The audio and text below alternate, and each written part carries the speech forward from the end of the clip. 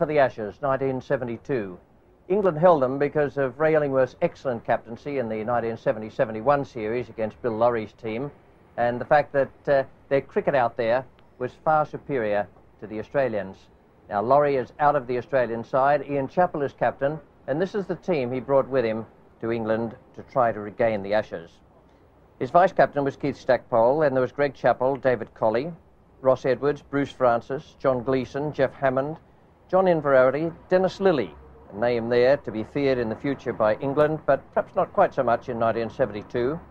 Ashley Mallett, Rodney Marsh, Bob Massie, Paul Sheahan, Brian Taber, Doug Walters, and Graeme Watson. So Lawry was missing from that side, but there were two other significant omissions. Ian Redpath, one of the finest batsmen Australia had produced in recent times, and Graham McKenzie, one of the best fast bowlers we ever had, and a great wicket taker and trier for Australia. In the side, though, was Dennis Lillee, mentioned a little earlier, and also Bob Massie, his West Australian teammate, who had impressed uh, in the previous season in Australia with his ability to swing the ball both ways. Well, Massie, in fact, was out of the Old Trafford Test match because of a muscle strain. That was bad luck for Australia because the conditions uh, seemed the type that would have suited his bowling. Raymond Illingworth won the toss. He has a habit of doing that, and he decided to bat first. In the third over, Dennis Lillee made his impression on the series, or rather, he made it on Geoffrey Boycott. He struck him a very nasty blow in the arm, and Boycott was unable to bat until later in the innings. Brian Luckhurst took his place, and we join play now at 16 for no wicket. John Edrich is the batsman, and David Colley the bowler. That's not all that far away from Rodney Marsh, but it's four runs.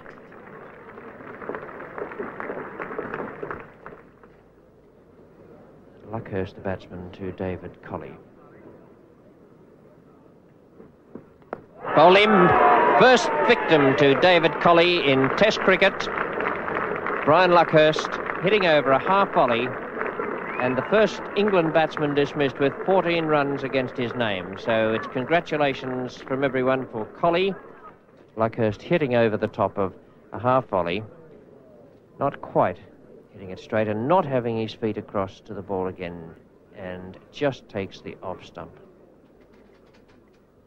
Lillee returning to over the wicket for the right-handed Smith.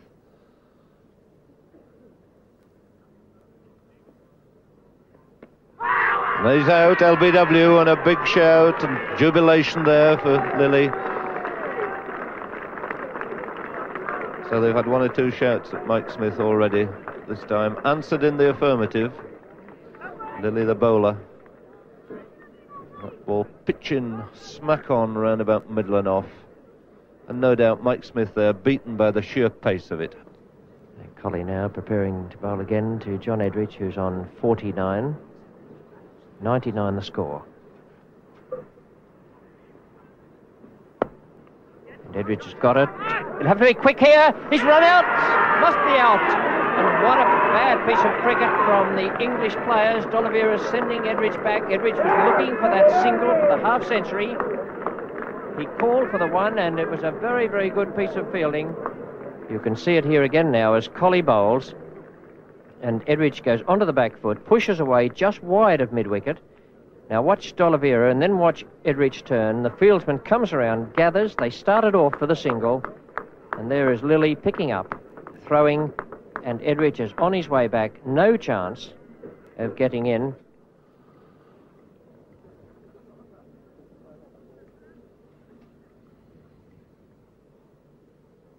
Well, he's bowled him. A much better ball. So, D'Oliveira comprehensively bowled there by Greg Chappell. Which ball which seemed to gather a little bit of pace off the pitch. And that's a tremendous feather in the cap of the Australians, and particularly Greg Chappell.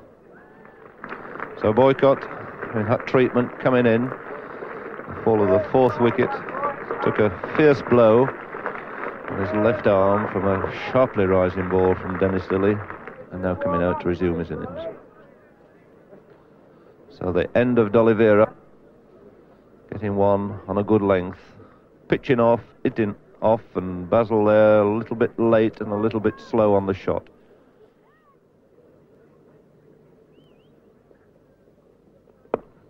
And he's got it through this time. half volley.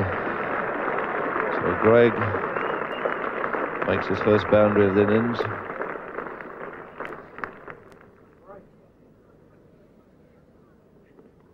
And that's it. And it's a fine catch, and Boycott's gone, and Johnny Gleeson's picked up his wicket. So Boycott out for eight. Good leg spinner, pitch right on a length turn, and look at those joyous Australians. Tony Greig, who was the mainstay of the latter part of the England batting order yesterday, played much better today. He started off in very nervous fashion at the beginning of his innings on the first day, but today he was very composed indeed struck the ball well on the offside and played with great conviction of his pads. One of those strokes by Greig was an absolute gem of John Gleeson, the Australian spinner. He looked very composed, and so too did Knott until the new ball was taken at 12.25 with the England total 182 for 5. There had been 50 minutes play at this stage, and Greig was the first wicket to fall when the persevering Colley, bowling accurate medium pace from the Stretford end, trapped him LBW.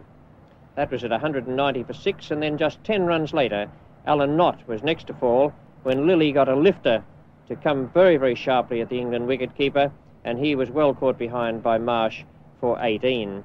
John Snow, the next batsman, stayed around for a few minutes, but then Colley got a good Yorker under his bat, and the eighth England wicket was down for 209. Norman Gifford was the next man to go with the total at 243. He was brilliantly run out by Ian Chappell, lurking just around the corner at short backward square leg, when Inverarity was bowling from the Stretford end. Arnold, the last man in, stayed for a while with Illingworth, but then smashed a ball away to mid wicket, a very short ball from Australian spinner Johnny Gleeson, and Bruce Francis took a fine tumbling catch away in the mid wicket area.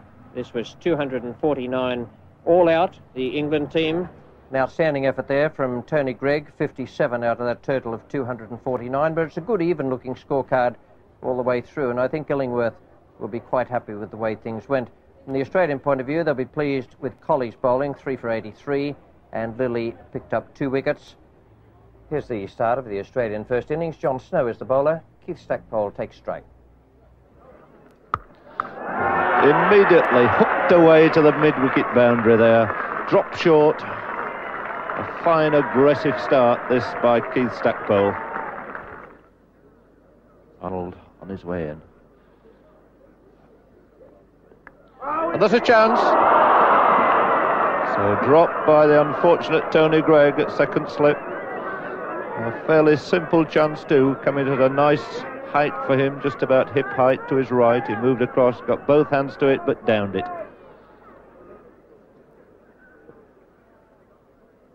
And he's dropped again, two successive balls. It's John Snow's this turn. And what a sorry mess these England slip fielders are making of it.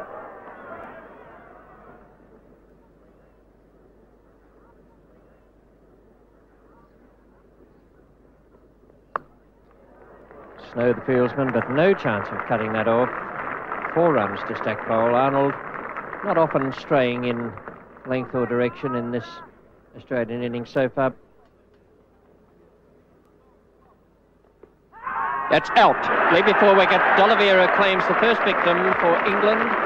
68 on the board. Had to do it without the benefit of any catching from teammates. There's the ball. And Francis is, well, he's very much obscured from here, but he looked very, very much in front. So it's the first wicket for England. 68 on the board.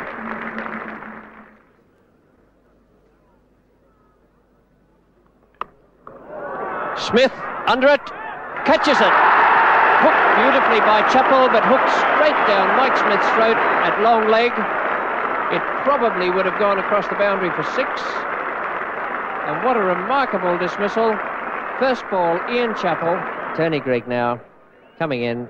The bouncer deliberately, very short, in good position, hooks it in the air, and Mike Smith coming around takes it beautifully. And I would say it would have been six had Smith not pulled it down. But a fine catch by Mike Smith and Greg Chappell coming out now.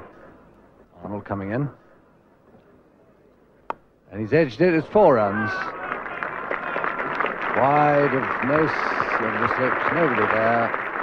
And Arnold continuing his pretty bad streak of luck.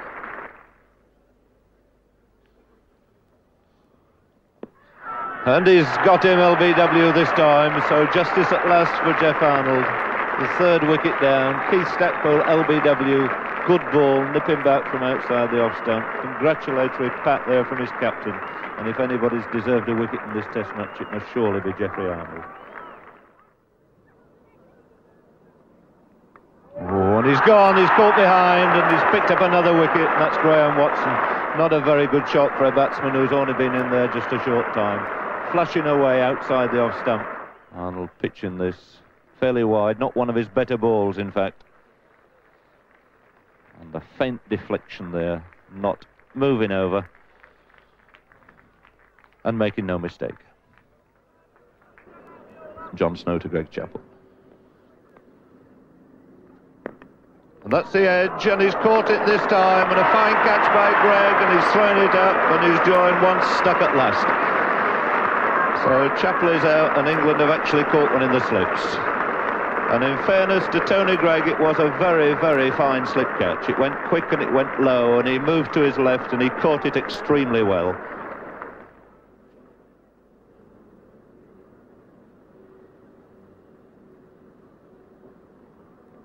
And that's out, he's caught behind.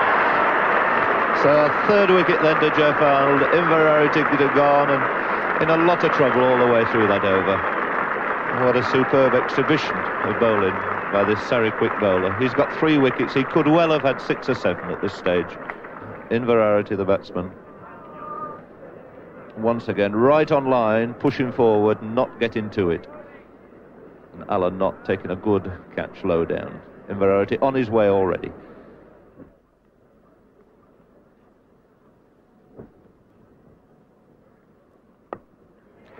And John Edrich has caught him in the gully. A fine catch. And another wicket to Arnold. Rodney Marsh is out for eight. And the Australians now 134 for seven. See John Edrich in the gully. Snap up this chance. Pushing forward. The ball moving away from him. Rolling over. Clutching it into his midriff there. Gifford has gone to mid-wicket, so there's a big gap now in the mid-on area. Oh, that's him very conclusively, and he was never there for that. He was playing that from uh, on or just outside leg stump. Snow looking very, very happy about it. You'll see here that Colley never, ever gets behind the line of the ball. The left foot giving himself plenty of room for the stroke before it comes back far too late.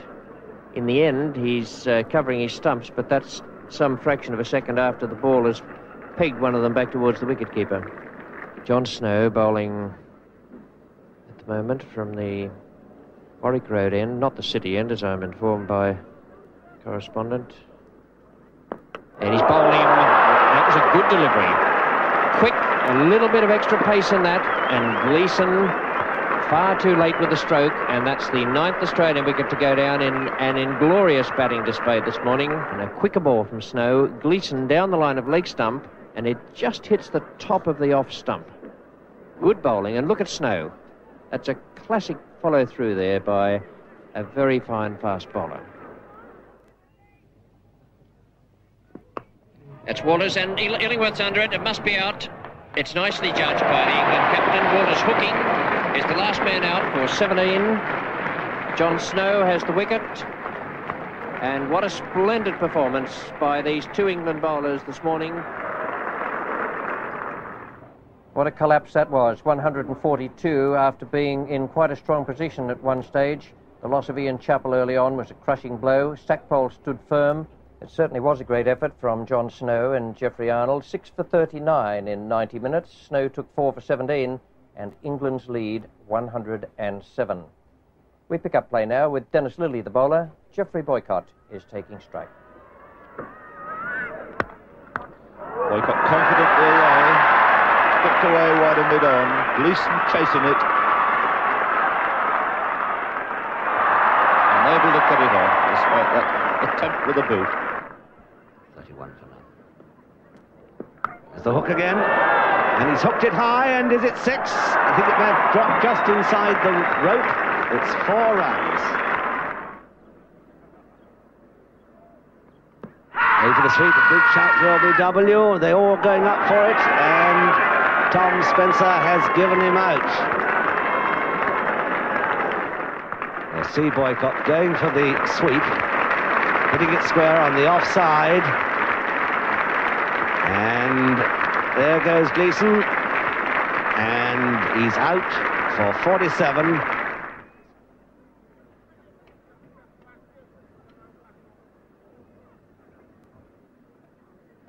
On a good ball, and that's out, and it lifted and left him, and he followed it. And Colley's got Luckhurst out again, this time without scoring, caught behind by Rodney Marsh. So England 65 for two.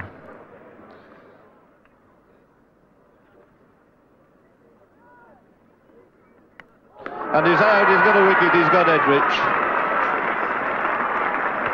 So John Edrich gone, looking to hit it away through the offside, not quite getting to the pitch, playing slightly inside it. And another catch then for Rodney Marsh. Graeme Watson, the bowler. He's looked in very good touch indeed. There's a lovely shot. That's four runs. Slow outfield. Wet ball, but four from the moment it left the bat. A fine on drive by Basil D'Oliveira. In perfect position for it. Each bowler carries a towel for drying the ball. And a great stroke.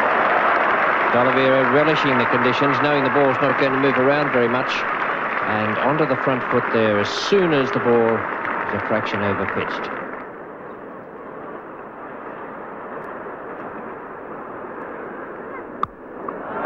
And again, successive boundaries, three boundaries, three balls. D'Oliveira on 37 faces Lillee. Out, caught, a brilliant catch by Watson, throwing it up in the air, and the first Australian victory this morning. D'Oliveira, the fourth wicket to fall in the England second innings, with the total at 140. 37 to Basil D'Oliveira, caught Watson, Lillee.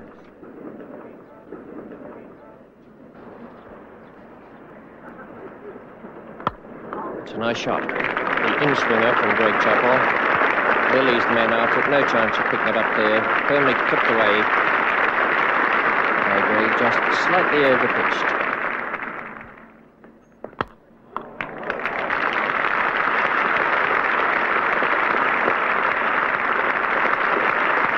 A little but very, very firmly hit indeed. One of Smith's favourite strokes. It's to be David Colley bowling now to Greg. That's a lovely stroke. No need to chase that. It's going to bang into the fence. That's extra cover. Perfectly timed. A full toss. Dennis Lillee to Mike Smith. And that's it. A wicket for Dennis Lillee. Mike Smith flashing away at a good length ball outside the off stump. No problem at all there to Rodney Marsh. Ball hardly deviating at all. A very simple catch, the wicket keeper. A wide ball here. Looking again for that square cut. Very faint deflection. Sufficient for those Australian close fielders and Lillee in particular to leap in the air.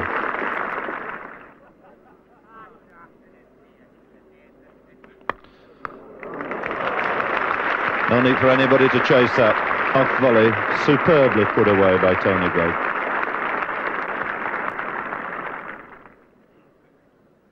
Down they go in anticipation of another edge. And it's a, another catch for Marsh having a field day out there, another little gentle tickle.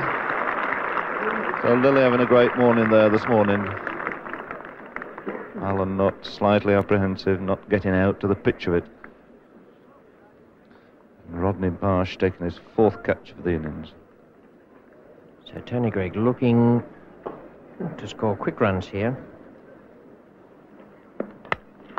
Get that through, and that's his 50. A good effort by Tony Greig here, a beautifully timed stroke for three.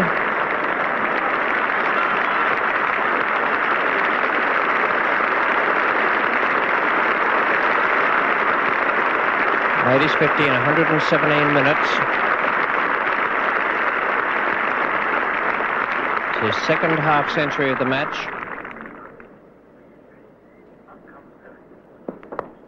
Chappell, what a great catch that was. That must be one of the best catches in Test cricket. Diving away to his right at first slip, behind second slip. Illingworth the man out, the seventh wicket to fall for England. Illingworth made 14 dismissed Cordy and Chappell, bowled Lillee. Snow should be quite immune from uh, the short pitch ball from Lillee.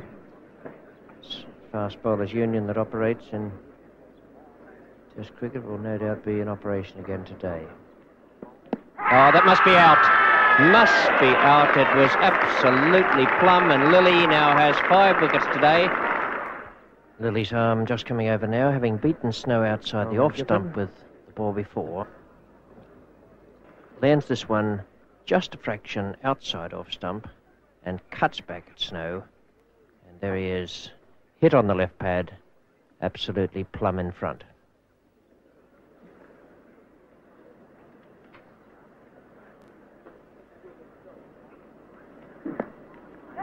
And he's got him. What a great performance. An inconclusive stroke played by Gifford. It's just flicked his glove on the way through. Lillee has taken three wickets in and over. There are nine England wickets down for 234. Gifford fending away outside the leg stump there, just flicking off the glove. And what a remarkable performance by Lillee. I'll bowl him. Good delivery, good Yorker from Greg Chappell.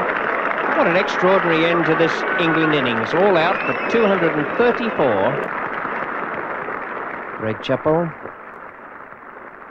bowling the last ball of this innings and Tony Greig hitting right over the top of it and the ball hitting inside the batting crease and cartwheeling the stump back towards the keeper. Dennis Lillee, the main destroyer, six wickets today. The other one going to Greg Chappell, the last man out, Tony Greig, for 62. A splendid innings by Greig. And Lillee being given the honour having taken the last four wickets without a run being scored from him and being given the honour of leading the Australians off the field. Once again, Tony Greig has played magnificently. Top score in the second innings as well as the first, 62 out of 234.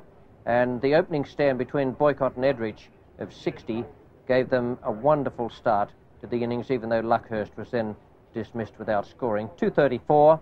Lillee, absolutely outstanding. 6 for 66 in 30 overs and 8 maidens. And at the same time, Rodney Marsh was equaling an Australian wicket-keeping record with five catches in an innings. We join Keith Stackpole now and Bruce Francis. After they've added nine runs, John Snow is the bowler, Bruce Francis the batsman. And that's out. On the back foot. The first blow struck almost at once by John Snow. Francis LBW for six. The impression I got there was that was palpably LBW. Let's see what the slow motion shows us. Going across his wicket.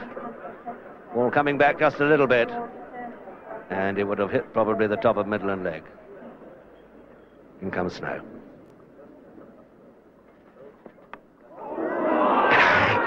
well, it's four runs for a very thin uh, leg glance, which didn't quite carry. Snow now to Ian Chappell. A bouncer, and he's asking for it, and he's given him out caught behind, so the hook's brought about his downfall in both innings. Trying Ian Chappell out with a bouncer. They had him caught at long leg the first time, going for the hook shot again, getting an edge through to wicketkeeper Knott. Snow tempting the bounce again. Look how much he put into it. Chappell, in actual fact, getting in a pretty good position there to hook it. no doubt there that Alan Knott knew he got a tickle.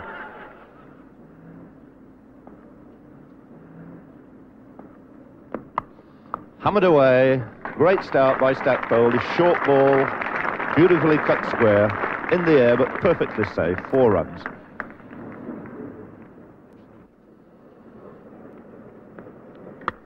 That's Chubby out. Short ball, hooked to Basil D'Oliveira at mid-on. He never got round on it, looking to hit it in the area of mid-wicket. So Geoff Arnold has beat the bat many times, getting a wicket there with a fairly short ball. Really, Greg Chappell should have put that away. He's quite a good hooker.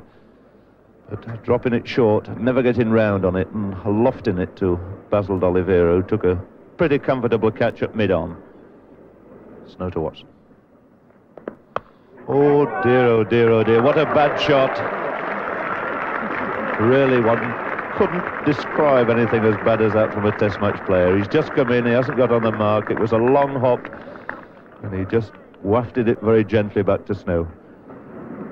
Snowy to Stackpole. It's a good shot. My word, that is a good stroke. Beautifully behind the ball. And it's his half century and a very, very good innings from Keith Stackpole.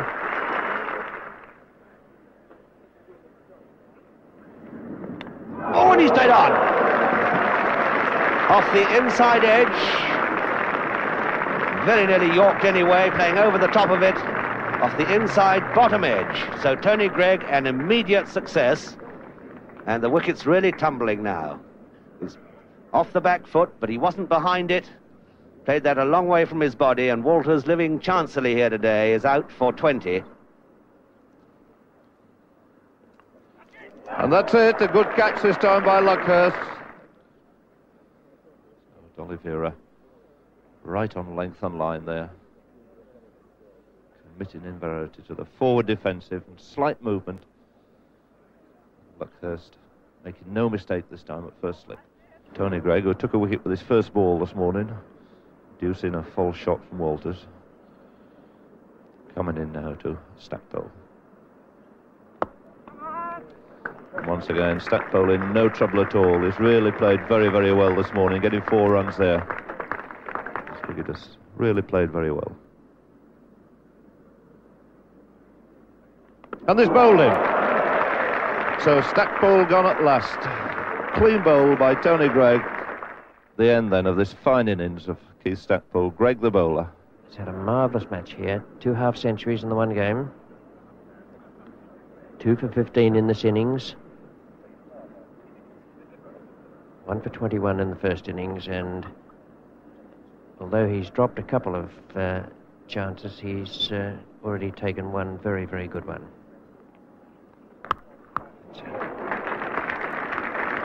Stroke that. Didn't get up as Greg intended.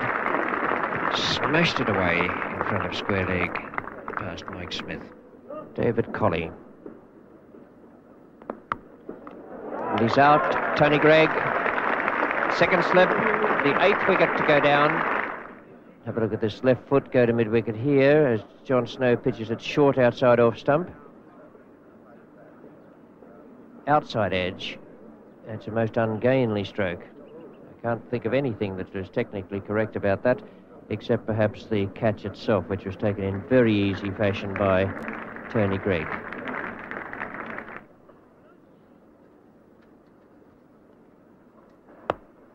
That's a brave shot over the top, and it's six runs.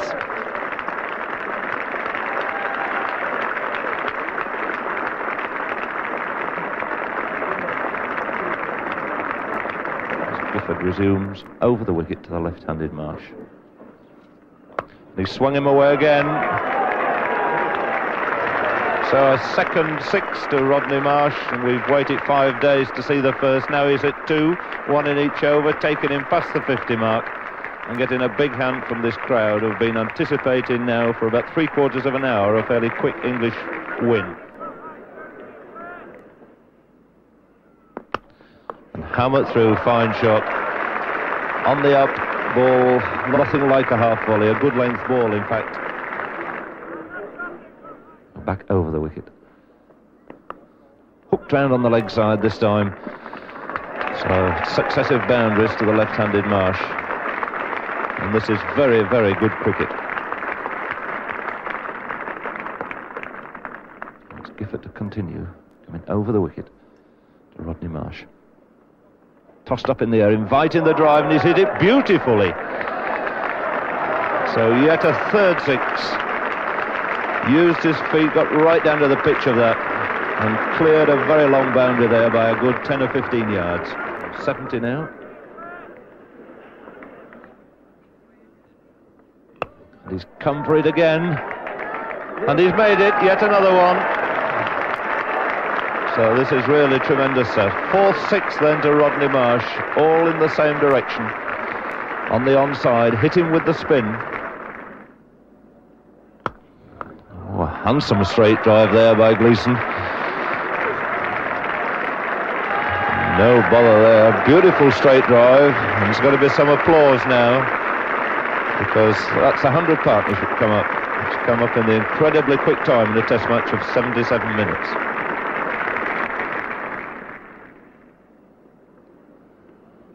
Greig to Marsh. And that's it. And he's out one short of his best score. Going for that square drive, which he's played so terribly well right the way through his innings. But this time, just getting a thin outside edge. Alan Knott taking the catch. And Rodney Marsh is out for really a superb and sparkling display. And all the England players fully appreciative of that fine knock. The Lancashire members on the feet.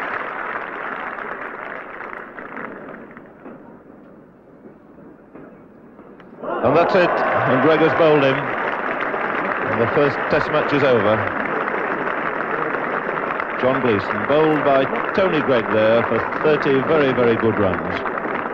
An excellent win for England, the margin 89 runs, and Raymond Illingworth's side had two and a half hours to spare. A look at the card at the end of the match now. Marsh dominating the Australian second innings with his 91. Stackpole played very well for his 67. The bowling figures for England very impressive with Snow taking four, and Arnold, extremely unlucky, one for 59 from 20 overs. It was the first time in 42 years that uh, England had won the first Test match of a series at home against Australia, and that would have been a tremendous boost for them. There was one very significant happening off the field at Old Trafford. I stood at the back of the television commentary box and watched Bob Massie practicing with Ross Edwards, and the footholds on the side where Massie normally bowls were so wet that he had to switch to bowling round the wicket so that he and Edwards could get uh, a full session of practice. They went into a long conference uh, together, they're Western Australian teammates, and the upshot of that was that Massie had in his mind, when he went to Lords for the second test match, that bowling around the wicket could easily be as difficult for the batsman as when they faced him coming over the wicket. In fact, Massie was fit for Lords, and Edwards went into the side as well. The men left out were Inverarity and Watson. And for England, they had the bad luck uh, that there was an injury to Geoffrey Arnold. He was left out, and John Price came into the side. Raymond Illingworth won the toss again, the seventh consecutive time. He's a very lucky man, Ray. And he decided that England would bat. Almost immediately, Bob Massie gave an idea of why this was going to be his match. The slip field is awaiting, and so too is Geoffrey Boycott.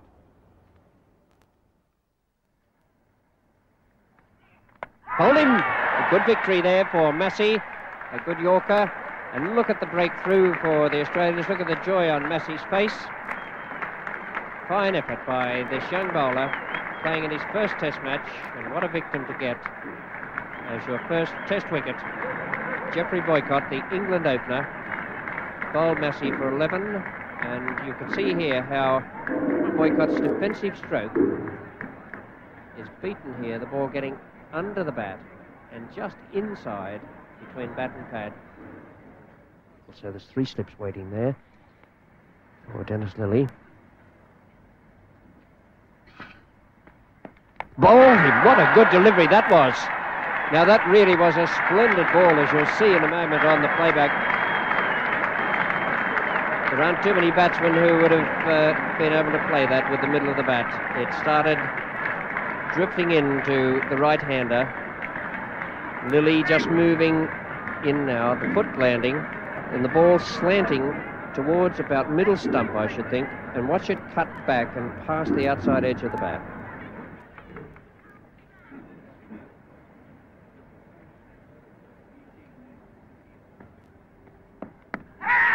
He's given him out, leg before wicket to Lillee. John Edrich, the third English wicket to go down this morning, 28 runs on the board. Edrich made 10, and it's Lillee's second success in his eighth over He now has two for 15. And a great piece of bowling here by these two West Australians after England got away to a very good start. So this is the third breakthrough of the morning. Dennis Lillee bowling in fairly close to the stumps. And Edrich just playing a straight defensive stroke. Cross the crease. And umpire Arthur Fagg at the bowler's end raising the finger.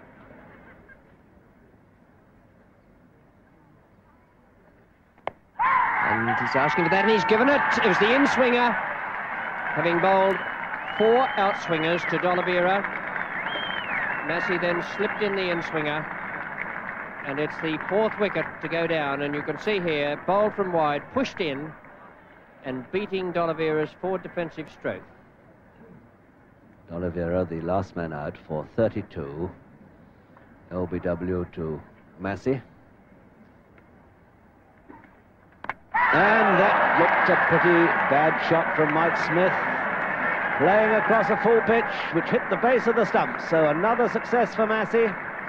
His third wicket. Having a great day on his debut here for Australia at Lords. So let's look at it again. Massie from the nursery end to Mike Smith on 34. And effectively yorking him as he tried to work it to his favourite area on the onside. But it's Greig at the moment to face Dennis Lillee's first ball after tea. He's on 25, Lillee from the pavilion end. And what a fine start. Really a beautiful cover drive, smashed through the offside. Wicket-keeper with an average this year of 70 behind him in first-class cricket, 200s, both against Surrey. Facing John Gleeson. No doubts at all about his intent. Looking again to move down the pitch, hitting high in the air over the top of mid-on. A fairly lengthy breather now. He's coming back to to Tony Greig on 49. That's the one he wants. Pushed into the offside, brings Tony Greig his 50. His third successive 50 in the three test match innings this year includes four boundaries and it's taken him two and a quarter hours. He's out. A bad shot by Alan Knott. He guided that straight into Colley's hands at Gully. It's the sixth wicket, so badly needed by the Australians. And Alan Knott is the man dismissed. Massie breaking through again. His fourth wicket in the innings. Massie bowling to Tony Greig. Oh, he's gone. Must be out, caught behind. He's given him out, and Greig is uh, not particularly enamoured of uh, the raised finger at the far end. Very confident appeal there. The shout from the Australians. But Tony Greig wasn't too happy, but you can see the reaction from the Australians here as the ball comes. It looked from here, possibly with the inside edge. And the shout from Massie, who is just about to go round, and Marsh throws the ball up in the air. Umpire Constant is the umpire at the nursery end. Massie is bowling now to the England captain Ray Illingworth, and he's bowling from the nursery end. And look at this delivery that nips back there in the air, strikes Illingworth on the pad, and umpire Constant at the far end has no hesitation at all in raising the finger. A very, very good delivery that because the two balls before had moved away in the air from Illingworth. Very fine bowling from this young Western Australian medium pacer. He had Illingworth playing at the outswing of the two balls previous and then suddenly nipped that one back at him from outside the off stump. Well, that broke the partnership between Illingworth and Snow, a half-century partnership and a very good one for England. And here now is Massie bowling again to Snow. And there is the outswinger. Now that really is fine swing bowling, coming on with the second new ball.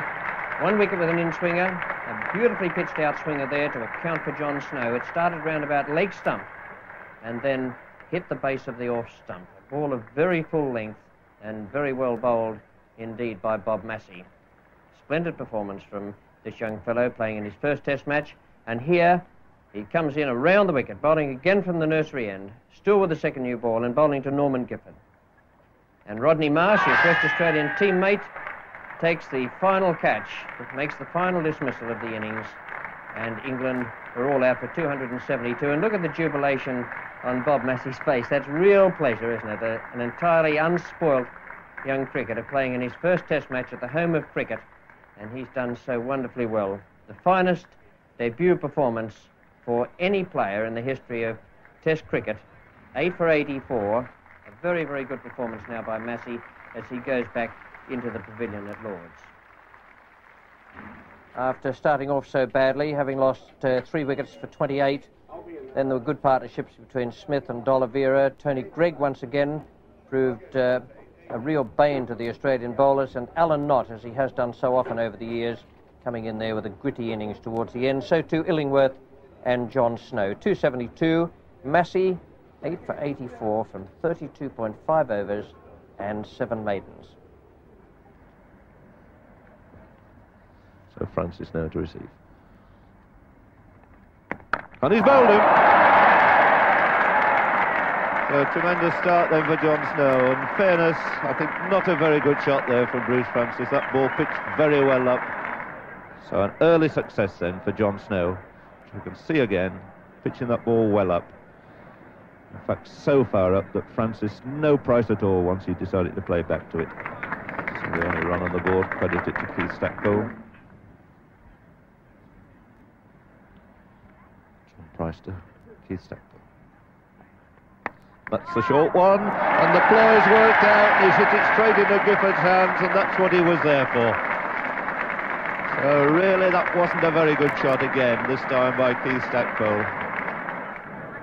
So the second wicket to fall, a wicket falling in each of the opening overs, this time to Price, the short one, hooked around, Gifford placed there for that particular shot, square by the umpire and taking a very simple catch.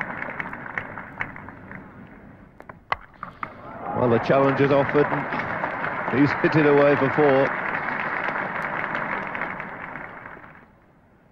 Price the bowler. That's the hook shot and he's middled that one all right. So still accepting the challenge is Ian Chappell.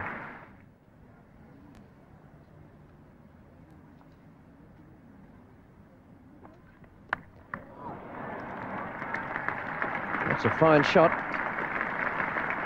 Ian Chappell going for that hook shot there. So now to Ian Chappell.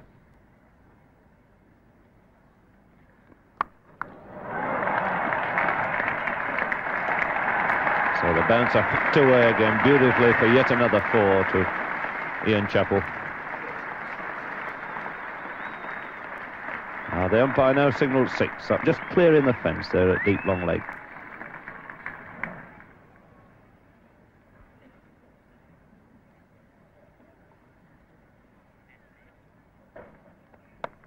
At Smith coming in under it. It's a great catch. Marvellous catch by Mike Smith at long leg. Ian Chappell hooking. What a great catch that was to take the third Australian wicket. Crowd standing up. The Australians in the dressing room looking disconsolate at the moment, as well they might. Snow testing Ian Chappell with that bouncer. The top edge from Chappell and Smith, bespectacled and 38 years of age, racing in, throwing himself full length on the ground to take what could be the decisive wicket in this match.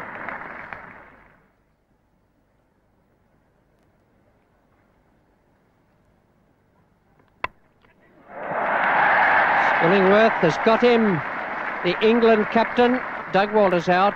Illingworth just getting to it with his left hand. It was a pretty good catch, that. John Snow finding the outside edge. A probing defensive shot from Walters.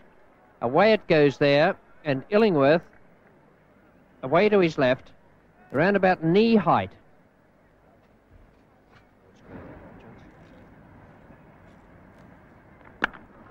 A fine shot, and he needn't run for that. Off the back foot, sweetly timed, four runs.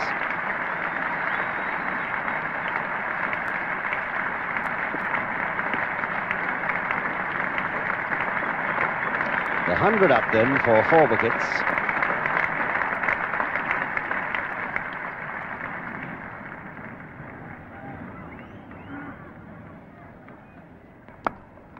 Another beautifully played shot.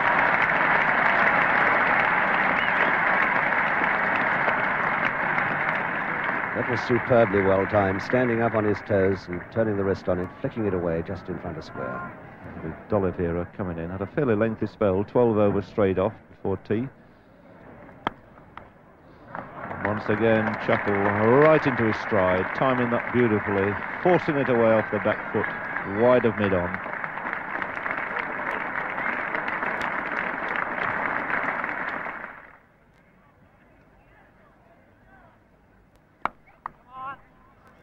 The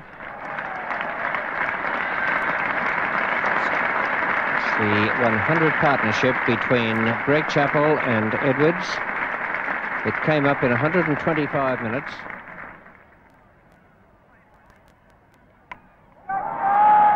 Gifford's after it. Smith is the man, and he takes it.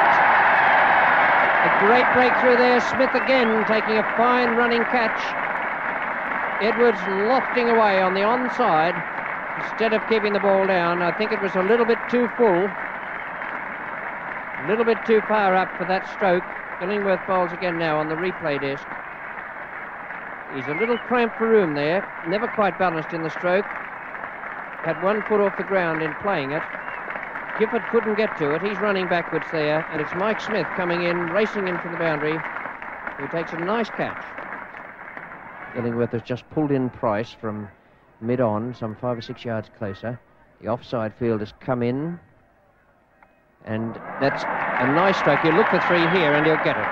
The fieldsman's Luckhurst. So they'll take three runs, and it will give Greg Chappell the strike. Crowd rising to him at the moment. It gives him his 100, his first 100 in England, and a very, very fine effort.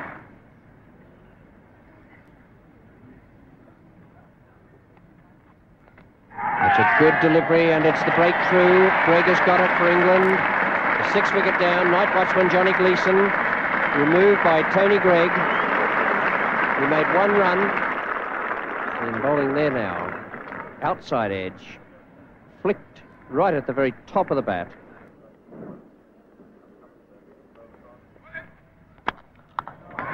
One stroke. Nicely timed.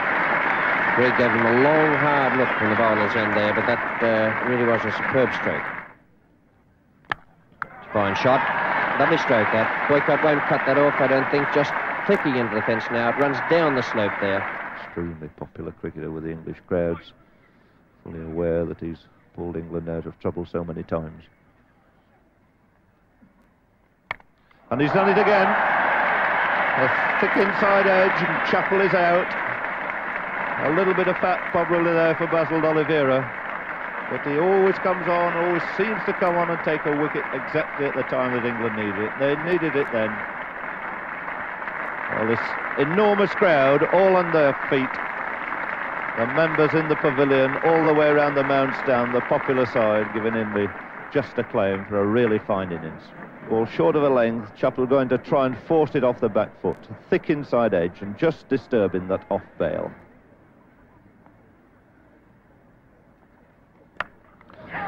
Knows how to deal with the short one. Long hop there from Basil D'Oliveira. Fiercely punished round a square leg again by Marsh.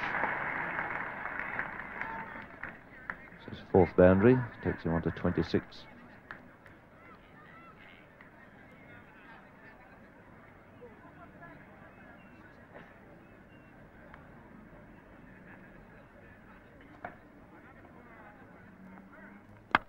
Gone for the big one, beautifully struck, nobody out there.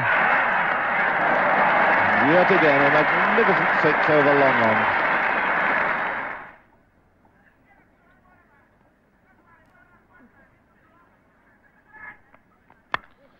Short, high over mid-on. So another boundary from Rodney Marsh.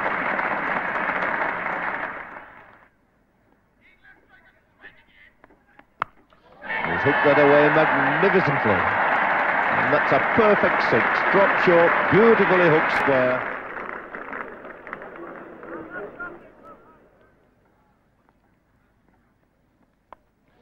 And he's, yes, he's gone. Greig's catching it, throwing it up, asking, asking the umpire. There's going to be a conference. Arthur Fagg moving over to Constant to see if it carried. Constant nodding his approval at that ball carried and Marsh is out. He didn't want to go and waited for the umpires to give a decision. So the crowd rising again to Rodney Marsh, just as they did up at Old Trafford when he made that really, truly great 91. He's followed it up with a fine 50, two sixes, six fours in it. And let's see this catch, which Marsh wasn't too happy about. See the thick outside edge. Greig tossing it up.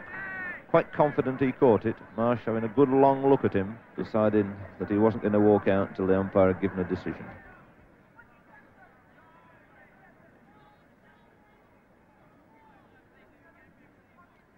Snow then to Massie. And he's gone, caught behind. So Bob Massie not lasting long there. First ball beating for pace. The second one outside the off stump. Let's see how Alan Knott took the catch. In fact, a useful ball that went down the hill, presenting Alan Knott with a very simple catch. Price to Colley with three slips. And that's it. He's found the middle one. And Australia all out. Good catch then by Tony Greig. Went quick. He made no mistake. That is one of the best innings I've ever seen. Greg Chappell, 131 at the home of cricket. His brother Ian, 56. And uh, that partnership between the brothers is the one that gave Australia their great chance of victory, giving them a first innings lead there.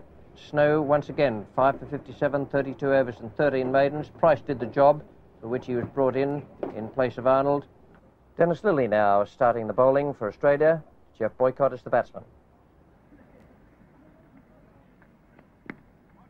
And he's out.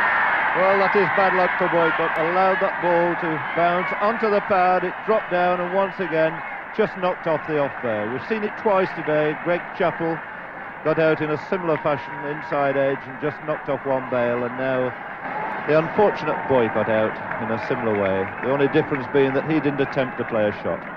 Strike him on the pad and then dropping down, didn't quite know where it was, turned round and to his horror the off bail had disappeared.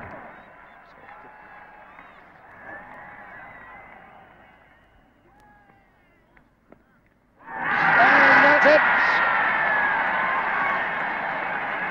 The replay comes into him a bit, and Luckhurst on the back foot. The thinnest of edges, straight into the tummy of Rodney Marsh.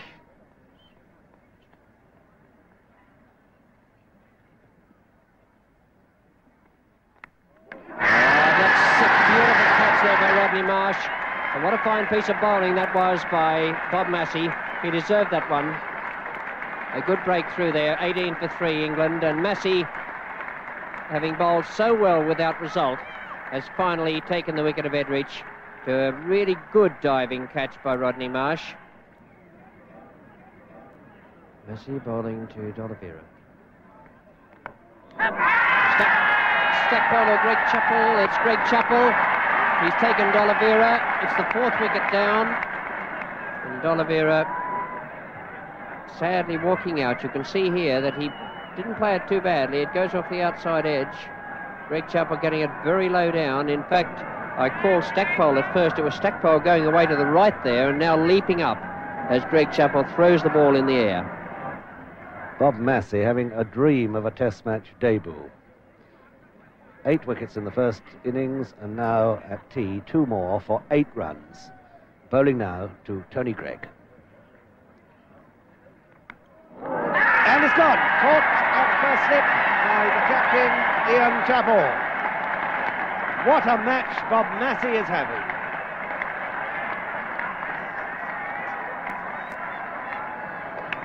Another look. Bob Massie coming round across the right hander. He pushes forward. It finds the outside edge. Goes round about right knee height to Chappell.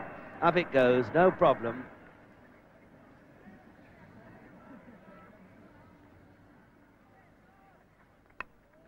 And that's it. Alan Knott's gone the same way as the rest. And Massie takes yet another wicket. So Alan Knott caught in the slips, feeling for it outside the off stump.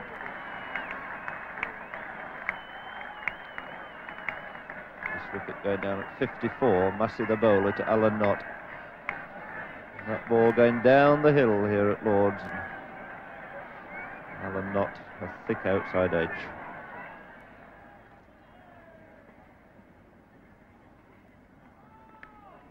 Out, Stackpole at second slip. Illingworth out, the seventh wicket down. And now a new world record for Bob Massie, the only man in the history of Test cricket ever to take 13 wickets in a match on his debut. Nothing wrong with the pitch. The pitch is a beautiful batting track, but he's doing it all with swing. Nothing happening off the pitch. He's cutting one or two, but it's being done in the air.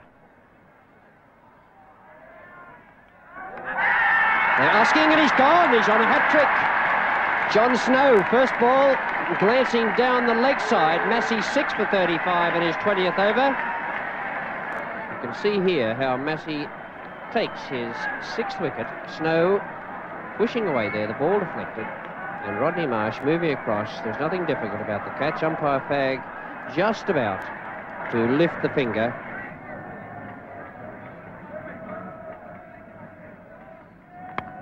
He's out.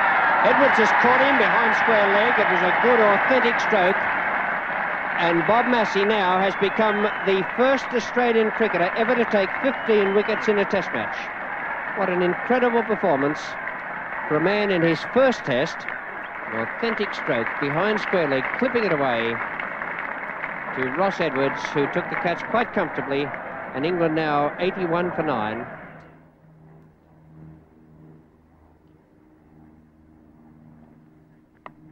That's out. Greg Chappell, the man completing the innings. An easy chance, shin high. Chappell took it very well. The last man to get uh, to be dismissed was John Price. You can see him here to Massie pushing the in swinger away, the outside edge, and Greg Chappell takes a comfortable catch. And his final figures now, Bob Massie with 27.2 overs, 9 maidens, 8 for 53.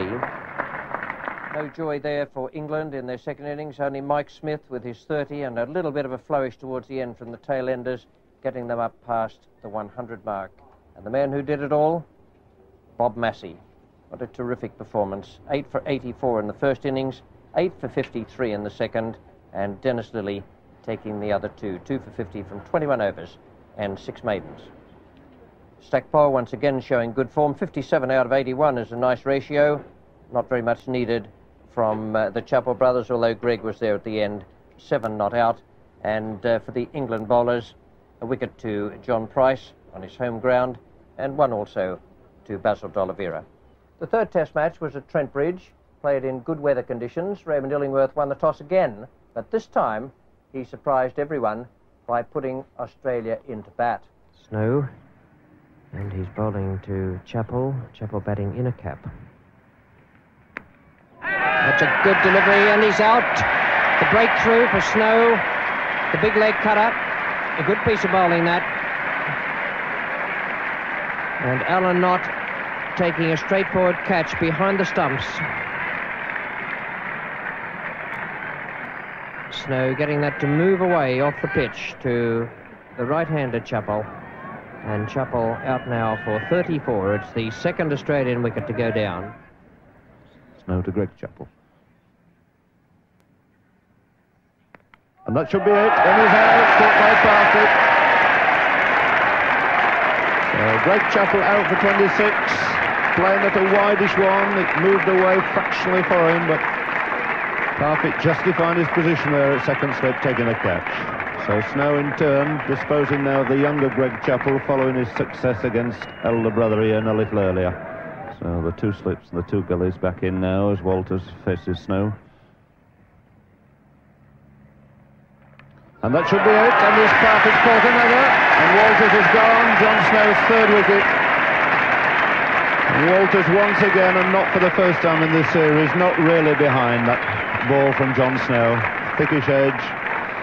perfect, justifying his selection. taking a very good catch. It went very quickly off the bat. So another wicket for John Snow. That's out. And that, again, the breakthrough for John Snow. Four for 44 now, this great fast bowler. Another fine delivery, leaving the right-handed Edwards, finding the outside edge, and a straightforward catch to Alan Knott, and that's the fifth Australian wicket down now. Snow once more to Bob Massie. And that's it. And a fine catch again by Peter Parfitt. That's his fourth catch. That was really a wonderful pick-up at second slip. John Snow's fifth wicket. He's done it again. He's broken through. He must have fancied his chance a bit against Bob Massie there. And the England players quite rightly standing and waiting for John Snow, allowing him to take the ovation. And how well he's deserved it. He certainly did deserve it. Five wickets to John Snow and an excellent performance. A splendid knock from Keith Stackpole, 114, and a real bonus for Ian Chappell with David Colley's quick 54. A great effort from John Snow, 5 for 92 from 31 overs and 8 maidens. Tony Greig did a good job with his 2 for 88, and Basil D'Oliveira was used a little more by Ray Illingworth. And this is Lillee now to Luckhurst. Oh, and that comes back, and he's out LBW. Playing a shot at it, whipping back at him, keeping low. And England are 55 for one wicket. Here it is again. Pitching outside the off stump, coming back a long way. And umpire Spencer raising the finger.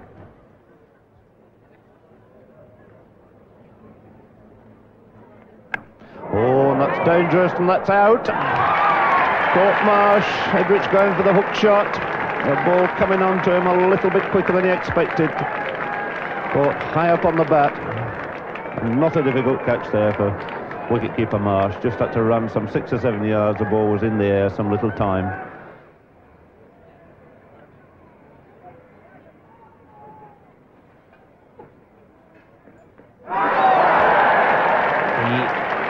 breakthrough for Dennis Lillee. Mike Smith, the man out now, the fourth wicket to go down with the total at 111. Might have got a little inside edge onto it. And he comes out now, Mike Smith out for 17, bowled by Dennis Lillee.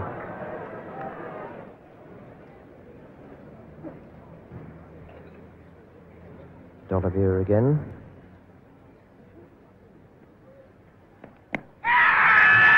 has given him out.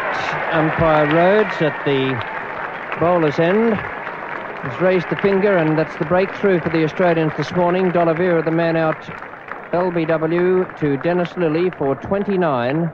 see now how Lillee took that fifth wicket. The ball pitching around about off stump.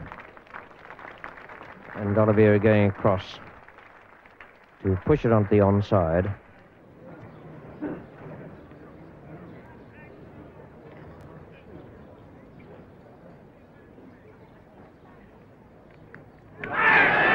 That's out, and he's come straight on and taken the wicket of Norman Gifford. So let's see this wicket for Bob Massie coming on in his second ball.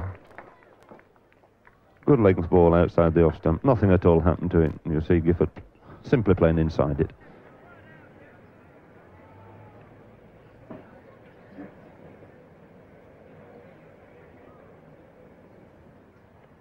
And that must be out too. Yes, he's done it again.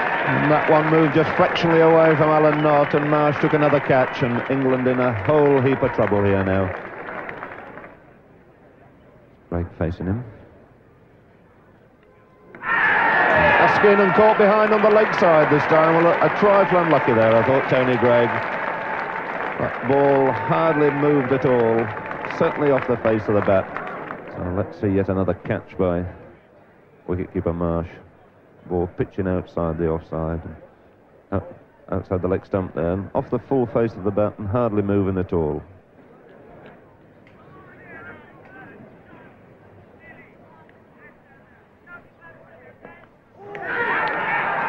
And he's caught him, given out a fine catch that by Marsh. It just hit the bottom of John Snow's bat. That's the second catch on the leg side. one to Bob Massie and now one to Dennis Lillee. You can see how Rodney Marsh moves very, very quickly. There's Snow just getting the edge. And Marsh dives away to the left, makes good ground, tumbles away.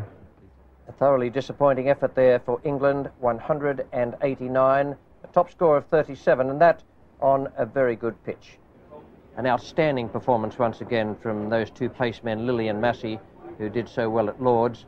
Massie has come in again with 30 overs, 10 maidens, 4 for 43, and they don't have an answer to him at the moment. Lillee 4 for 35, bowled very well, and Colley is an excellent inclusion in the side. Here now is the start of the Australian second innings. Snow to Stackpole. And that's it, he's out. Another catch, first slip. Peter Parfitt's on it again. Stackpole gone, a wicket for Snow. The first Australian wicket going down at 15. Getting one that moved away a little bit from him. Luckhurst taken a good, smart slip catch.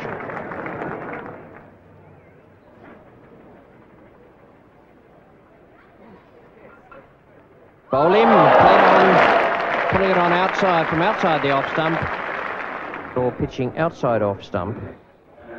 And it comes back inside, the inside edge, and hits leg stump.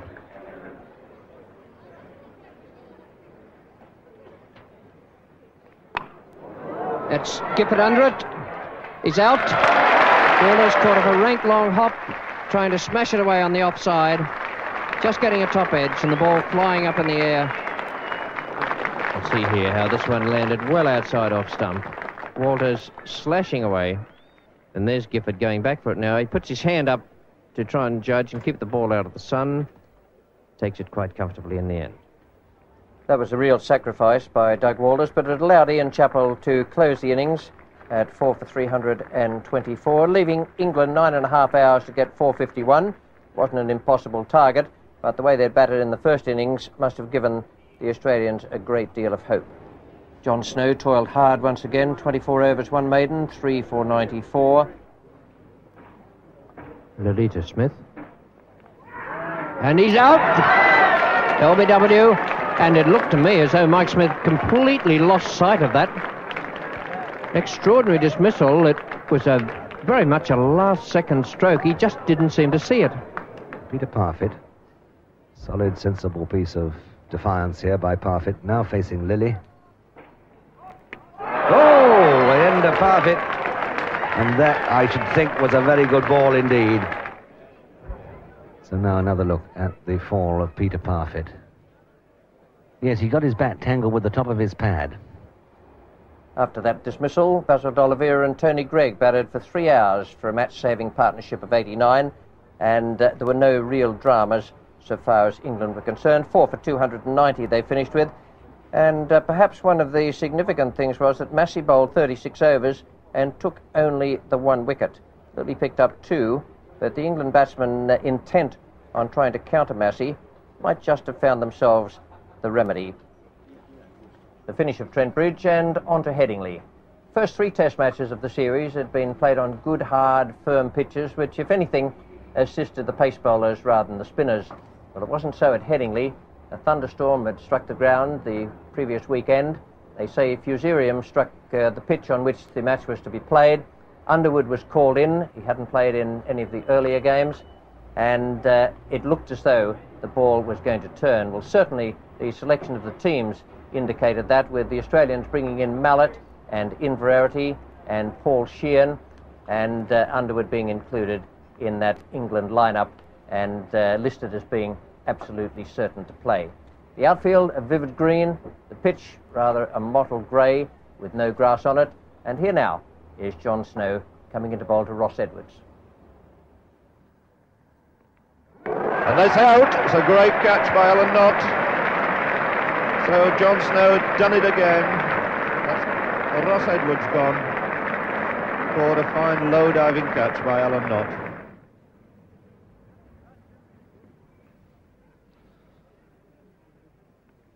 Oh, and that's a fine ball and it's out, caught behind. So the fifth ball of the first over after lunch. And that's Stackpole caught by Alan Knott off the bowling of Derek Underwood. Fine ball, turned, there's help in this wicket for the spinners already on the first morning.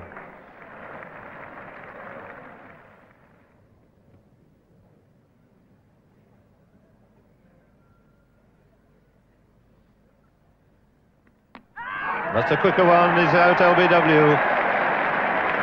So one pushed through with the arm. And really caught Greg Chappell unawares there. Beat him by a well-controlled, perfectly concealed, quicker ball. So the third wicket going down, Underwood second, the quicker one pushed through. And you see, after the ball it struck him on the pad, Greg Chappell pushing his leg forward. And that could be out. Illingworth's coming around under it. Should be out. Quite safe. Marsh caught Illingworth, bowled Underwood, trying to hit the left-hander down the ground.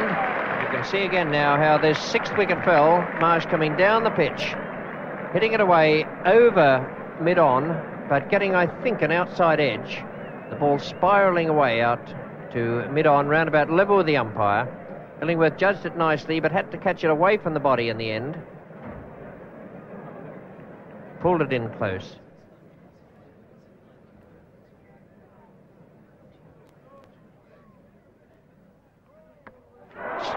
He's caught him! A great catch by Illingworth.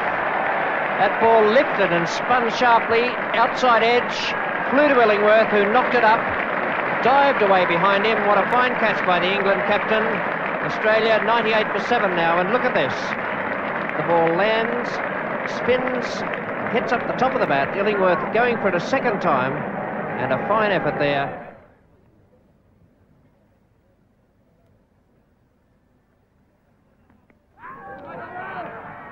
And he's given him out LBW. Constant had a long look at that. He doesn't make decisions lightly, this umpire. Let's see this LBW decision. Mallett moving well across, well in front there. Constant taking a long time over his decision. Four wickets fell to the England pace bowlers Geoff Arnold and John Snow, but the bulk of the work was done by Raymond Illingworth, 2 for 32 in 21 overs and 11 maidens, and Derek Underwood brought in for this match 31 overs, 16 maidens, and 4 for 37.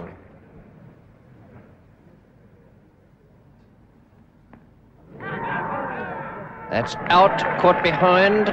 Parfitt looking in some dismay at umpire Constant. Ball swung back, it looked to come between bat and pad.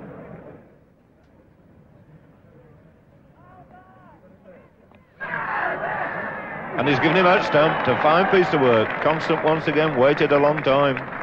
Alan Knott gave him the charge and Marsh had those bails off in no time at all.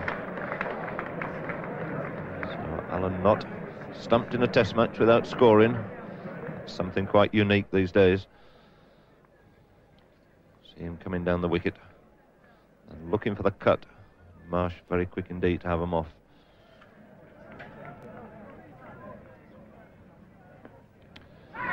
And he's out stump, too short of his 50. Trying to push it away for the two runs he wanted. It wasn't a very good ball. He could really have belted it away on the onside. He hit six fours, and this is what happened when he faced Inverarity on 48. Full pitch. And a brilliant piece of stumping there by Rodney Marsh. So Ray with 148. His last opportunity today is to reach the 50 mark, which will be one of the slowest in the history of Test match cricket between Australia. He's gone for the big one. That surely is it. Yes, it's bigger than that. I think it's over the ropes. Umpire Elliott having a look, signalling six. So the last over of the day, Ray Illingworth going to his 50 with his second six. In fact, they lasted only until the total was 263 when Ray Illingworth, the England captain, was LBW to Lillee, shuffling across the crease and given out by umpire Constant at the bowler's end. No praise is too high for Illingworth in the part he played in rescuing England from a desperate situation uh, when he came to the crease. Yes, Raymond Illingworth played a magnificent innings there for England, a match-winning one, in uh, my opinion. Ashley Mallett, the off-spinner, 52 overs, 20 maidens, 5 for 114, and Dennis Lillee, because of his great skill, was able to pick up 2 for 39 in 26.1 overs. And here now is Derek Underwood preparing to rip through the Australian batting. He's bowling to Greg Chappell.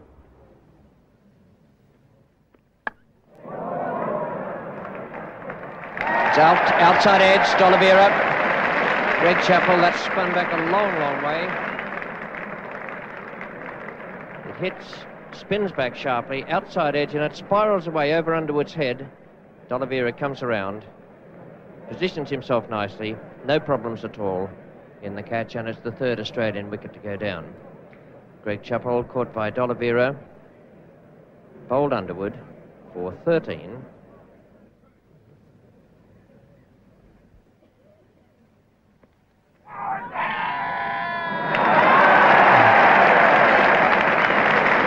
Well, uh, Stackpole is out leg before wicket to Underwood. The fourth wicket to fall. 51 for 4 now, Australia.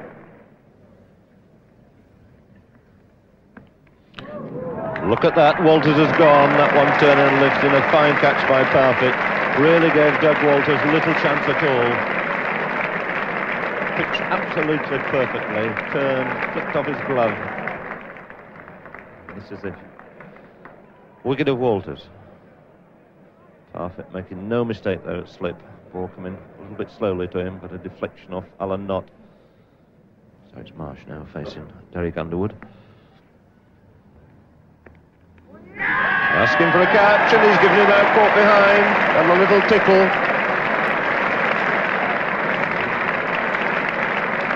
So a third catch there to Alan Knott in this innings. Rodney Marsh out, another wicket to Derek Underwood. He's really having a birthday here this afternoon.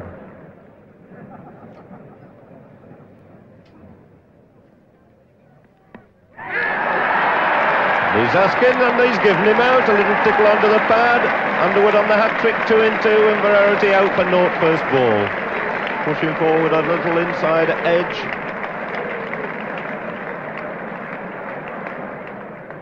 Three short legs, a slip, a gully, and a silly point, facing Ashley Mallett. Derek Underwood on the hat trick.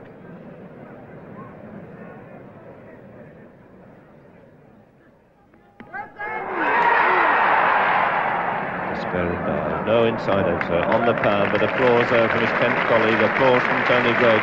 Wonderful over by Derek Underwood. Congratulations from everybody around. It's Bowling spun from middle, hit off, and Lillee is the ninth wicket to go down. Australia still six six runs short of making England bat again, and Lillee bowled by Underwood for seven. Once again, the spinners, the men who did most work and had most success. A great effort from Derek Underwood, who was as close to unplayable as you will ever see at Test match level. 21 over six maidens and six for 45. And Ray Illingworth gave him great support and bowled without luck. England needing just a handful of runs. Here is Lillee bowling to John Edrich. And that's out. It looked very close indeed. So our very jubilant, happy Dennis Lillee has struck at least one blow back for Australia. Edrich out LBW with a total on seven. His personal score on four. Luckhurst and Parfitt hit off the required runs there. England 21 for 1 at the end of their innings, and uh, a very good victory. The victory coming in uh, three days, and probably the spectators were lucky to get that much cricket. The spinners had a field day, or field days as the case may be. Underwood 10 for 82 from 52 overs. Illingworth 4 for 64 from 40. Mallett 5 for 114 from 52. Inverarity 3 for 26 from 33. The best bowling figures of John Inverarity's uh, restricted career as a left arm spinner. It was a very unusual test match with 31 wickets falling for 566 runs. Well, it was all different here at the Oval when we came along to the final test match. Magnificent weather and the Australians setting themselves to square the series.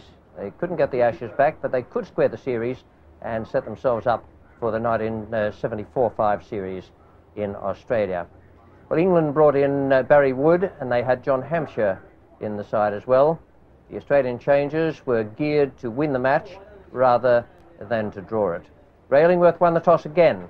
An excellent one to win. Looked to be a magnificent batting pitch. And here is Dennis Lillee coming in now to bowl to John Edrich. And he's had LBW, I think no question. He walked and moved into that. And I don't think it presented too many problems for Bert Rhodes down there. So the first wicket to go down in this test match, that of John Edrich. Dennis Lillee, the bowler, moving back and across and looking absolutely plumb.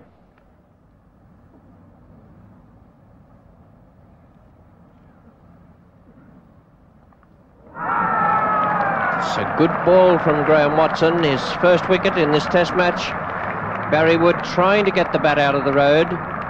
Almost did, but it just got the faintest tickle there, the outside edge, onto Rodney Marsh, and Watson breaks through just before lunch. Massie's going to keep coming round the wicket to the right-handed Hampshire. Well, in a short one and a bad one, pulled away, pulled away very well indeed by John Hampshire. It's a bad long hop. Bob Massie has not really bowled well. That's a fine shot. Half volley. Driven very powerfully. No need for anybody to chase that.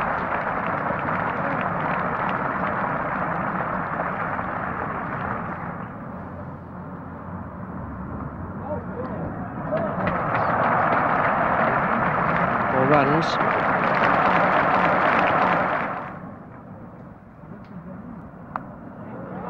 That's a good looking shot. Hampshire really in full flow now. And a very good looking player he is.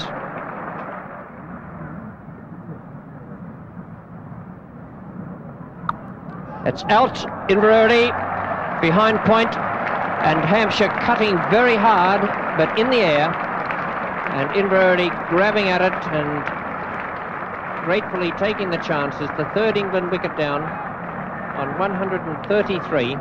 You'll see it's pretty short outside the off stump, and he moves away and square cuts it uppishly to Inverarity at short third man, you might say.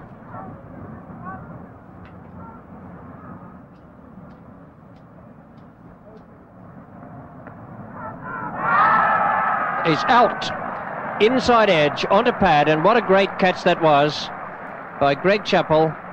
And D'Oliveira looking very disappointed there as he comes off a faint inside edge onto the pad. You can see here in slow motion just how it happened. Mallett's arm coming over, and the forward defensive shot inside edge, and Chappell just going the wrong way in the first instance, I think, and then recovering quickly to come back and take the catch very low down.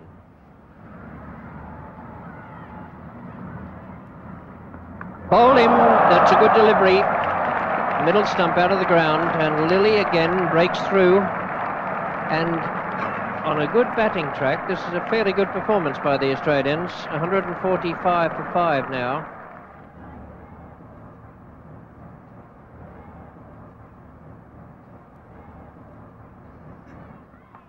It's out. First ball. Caught by Greg Chappell at third slip. 146 for 6 now. First ball, Ray Illingworth, who up to that moment was on top of the England batting averages. And that's it. Good at slip. The one going on with the arm. A third wicket to Ashley Mallett. Good, intelligent piece of bowling. Third wicket then to Ashley Mallett. Tony Greig, the batsman, had moved on to 16. Mallett bowling that with the arm, going straight on.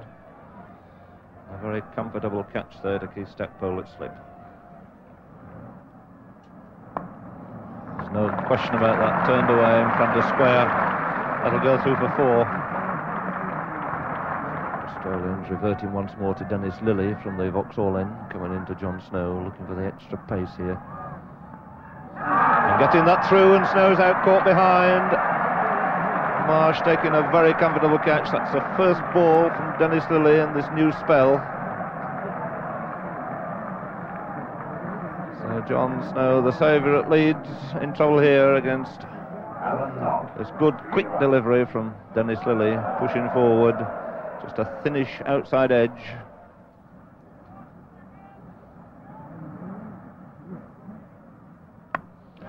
Incredible shot there by Lamont. It was a half volley outside the off stump, which the majority of people must have thought of hitting through the covers, and he swung it away over the mid wicket boundary.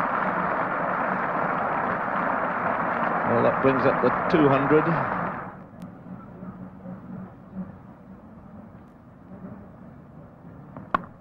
It's a fine shot. Sheahan, the fieldsman, but not even Sheahan will be able to stop that. That's four runs.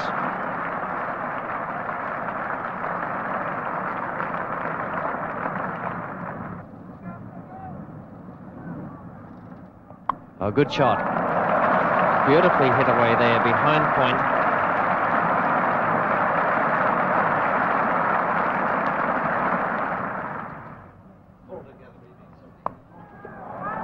Four again.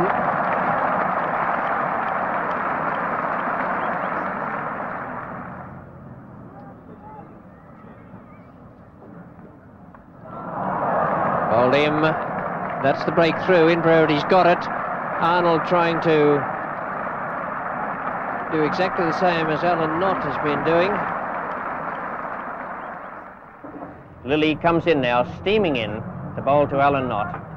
And Knott, in the end, after trying to evade a bouncer, gets an outside edge, and Rodney Marsh therefore breaks Wally Grout's 11-year-old record of 21 victims in a Test series. Marsh now has 22 and is chasing Alan Knott's record of 24 in six Test matches. England owed a great deal there to that magnificent innings from Alan Knott, 92 from him. There's some good batting early on by Parfitt and Hampshire. Nice to see Jack Hampshire back in the England side. 284 for England, and an outstanding performance from Dennis Lillee, who really lifted himself out there. 24.2 overs, seven maidens, five for 58. Once again, England seemed to have worked out Bob Massie. Now, here's Geoffrey Arnold bowling to Graeme Watson. It's out. Watson caught behind on the leg side by Alan Knott. The faintest edge. See the shot here. Clipping it away, but not quite far enough. And Alan Knott goes across.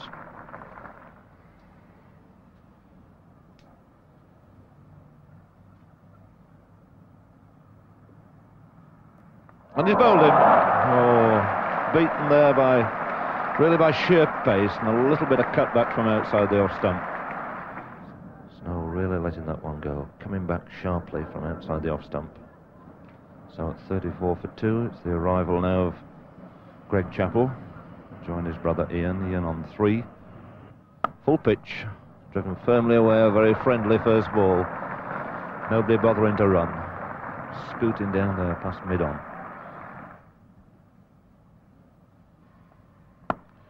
Fine, handsome off drive by Ian Chappell. No need for anybody to chase that. Half volley, put away perfectly.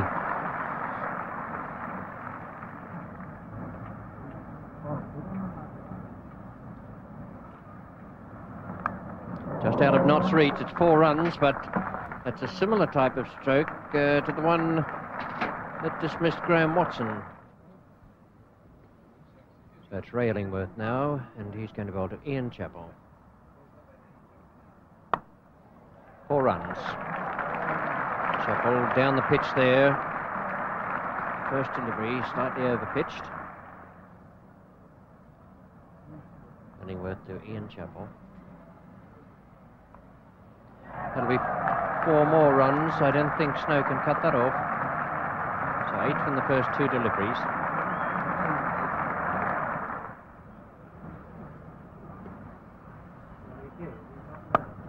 Four runs. It's a nice stroke. Beautiful timing there by Greg Chappell. The ball wasn't quite up to him.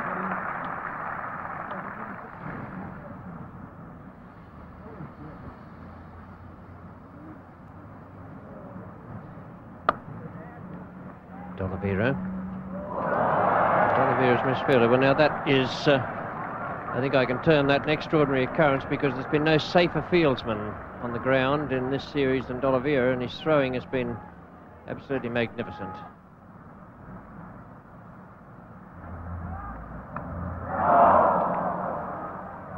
Four runs. I think that came right off the bottom of the bat rather than off the edge. It was a slower ball from Underwood.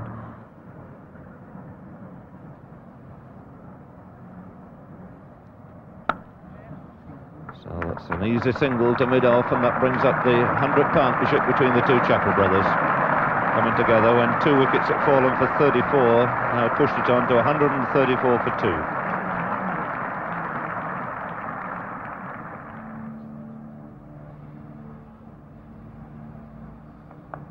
Turned away nicely by Greg Chappell. It's a chase for Geoff Arnold, but no chance of stopping it. This extremely fast outfield. Ball going away quickly from him the whole way down to long leg. Arnold coming on, replacing Greig at the Vauxhall end. It's Greg Chappell facing. Short one, hooked away, four more runs. Perfectly placed hook shot, a loosener there from Geoff Arnold, the first ball of a new spell, dropping it short. So it's Ian Chappell now facing Geoff Arnold. Drop short again, hooked away over mid wicket for four. So it's Ian Chappell following a similar shot in this over to Greg. That's a good shot. Takes Ian Chappell on to 63. Nicely positioned there, beaten for an instant in the flight by Underwood. Greg Chappell, two for the 100 now, faces John Snow. And that's uh, probably it. Yes, he'll take two here.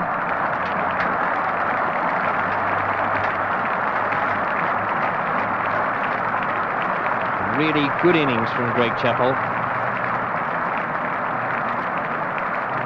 He hit his 100 in 190 minutes.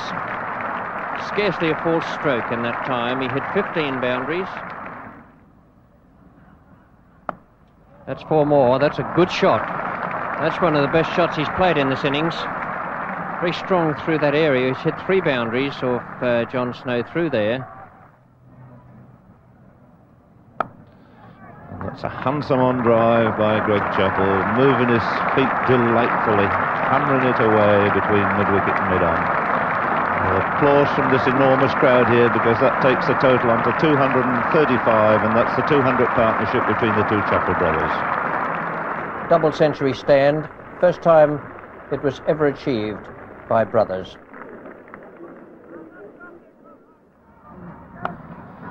And that's it, and Tony Greig has caught him at mid wicket.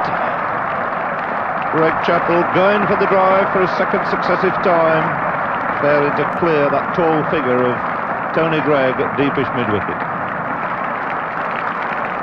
Well, that was really a superb exhibition by Greg Chappell in when Australia were 34 for 2. Really up against it, took his time, had a good look round, and has played a series of delightful shots.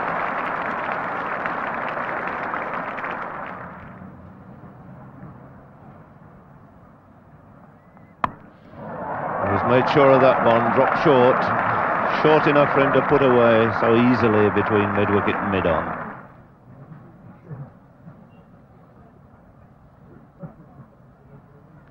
So down the wicket, has he got an edge? Yes, he's got an edge, a thickish edge, no slip. It's been a slip, it's been a catch off the edge. It's gone through there. It's taken Ian Chappell to his seventh Test hundred. Really a fine effort for his side. Also takes him on to two and a half thousand runs in Test match cricket.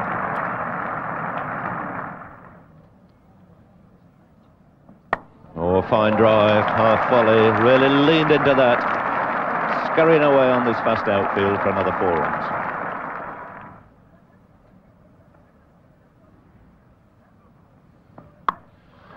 And another fine shot. Really some superb shots coming from these Australians. Once again, not very short at all, but beautifully put away square on the offside by Ian Chappell. It's a short one, it's lobbed out to John Snow, it's a catch, and he's made it, and Chappell is out, and he's fallen to the hook shot once more. Tremendous performance by the Australian captain here. The crowd rising on their feet now. So Geoff Arnold tried him out again with a hook shot. He's duly obliged. Right underneath it. Never in a position to hook it downwards. John Snow at long leg taking the catch. So the end of this marathon innings. So he's got it away. Dropped short. Forced away square off the back foot. Four runs. Brings up to 300 for Australia.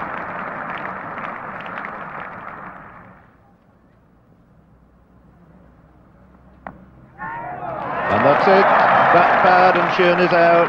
Hampshire in that silly point position, moving forward quickly and well and scooping up a low catch. So Underwood. Perfectly good length ball, but so easy to see the inside edge. Onto the pad and Hampshire picking up that low catch.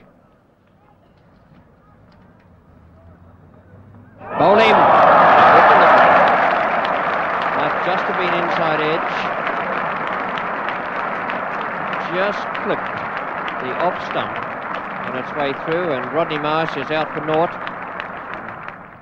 Underwood to Edwards. It's four runs. It was a brave stroke. It was a slightly slower delivery from Underwood.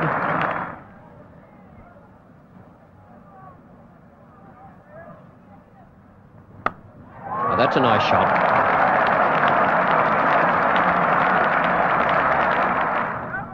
Arnold to Inverarity.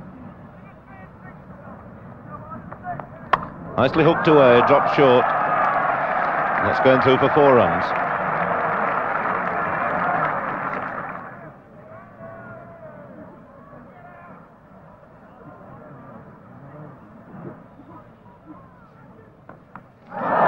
And he's bowled him. So that's the end of Edwards. Underwood from the far end. Edwards pushing forward. So Alan not obscuring our view, but rather think that did straighten a little bit, flick the off stump.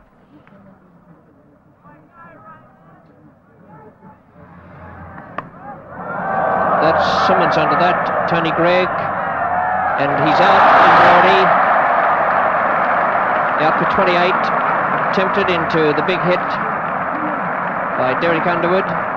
Bowling over the wicket. And Inverarity skied it away to mid-off. It's the eighth wicket down for 387. Still on the Devil's number. Arnold bowling from the Vauxhall end. Coming in now, bowling to Bob Massie, the left-hander. And Massie gives himself plenty of room for the stroke, getting right across there, leaving the leg stump very vulnerable, and Arnold taking advantage of it, just cutting the ball back a fraction and clipping the outside of leg stump to take the first wicket of the morning. The second Australian wicket to fall was that of Ashley Mallett. A complete debacle in running between the wickets here. Barry Wood, and look at the two batsmen, both going to the same end. The man at uh, square leg picking it up, and a very easy run out indeed. Dennis Lillee and Ashley Mallett, a bit like Flatbush Follies there in that run out. Although the last six wickets fell for only 89, it was that great effort from Ian Chappell and Greg Chappell that uh, gave Australia their chance for a substantial first innings lead. Ross Edwards 79 and Inverarity 28, but the rest collapsed in the face of some excellent bowling and captaincy. But the Australians still have their first innings lead. Arnold 3 for 87 in the bowling figures for England. Snow just one wicket. And Derek Underwood, a long bowl there, 38 over 16 maidens, 4 for 90. And Ray Illingworth taking the fifth wicket to fall to the spinners at a cost of 53. Here's Barry Wood now, facing Dennis Lillee. Magnificent shot there by Barry Wood. Really clipped that away, half volley on the leg stump. Hit it with tremendous power.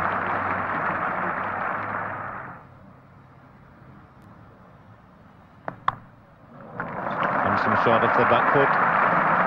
Once again, it's a chase for Ross, Ross Edwards. The ball gathering pace on that quick outfield and beating that long chase he had. So another boundary to Barry Wood. The fine, handsome on drive that's going away through to that onside boundary.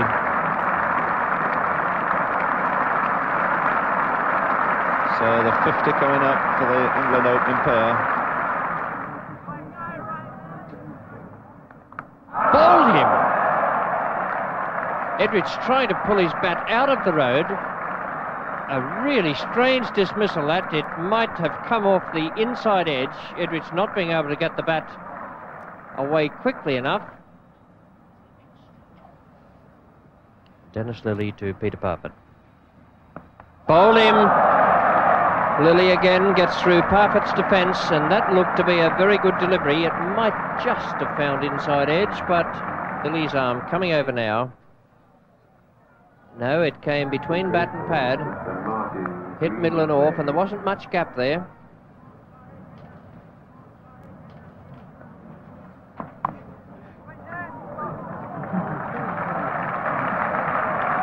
Inverarity.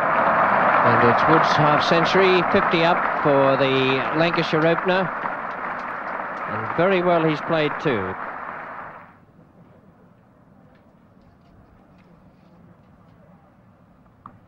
And that's it. He's caught it slip. Fine catch. A little bit of bounce. Ian Chappell, the Australian captain, taking that very thick edge. It went extremely quickly. Hampshire looking for the cut, the ball bouncing a little bit higher than he anticipated, but it was a fine catch by the Australian captain.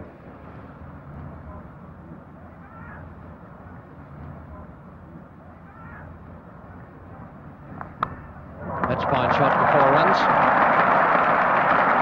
That's the area he likes there. Backward point around to extra cover, and anything a bit short, he gives it that forearm slash.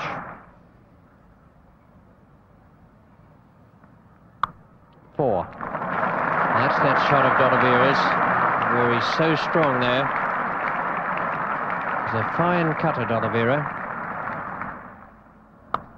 A lovely shot.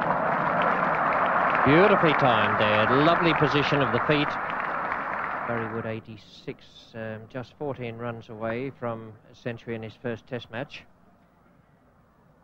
And the last man to make a century in his test debut in England, think was uh, Ranjit Singh.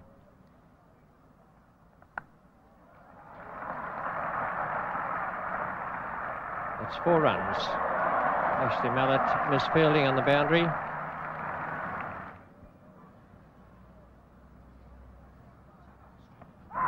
It must be close. Yes, it is. Wood trying to force away there through mid-wicket. Ball that looked to be pretty straight, hit him on the full. And a tremendous ovation here for Barry Wood. Australians joining in. This I rate as one of the best innings of this whole series. See here how he was dismissed LBW to Massie, a ball of very full length. Striking him, I suppose, round about the instep.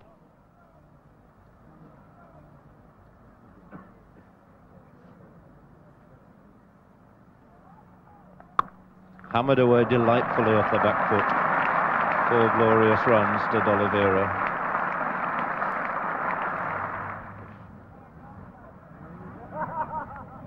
And that's it.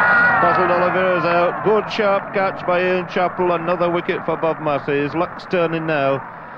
And this game swinging once again Australia's way. Basil D'Oliveira out for a fine 43. Caught low down comfortably by Ian Chappell off the bowling of Bob Massie.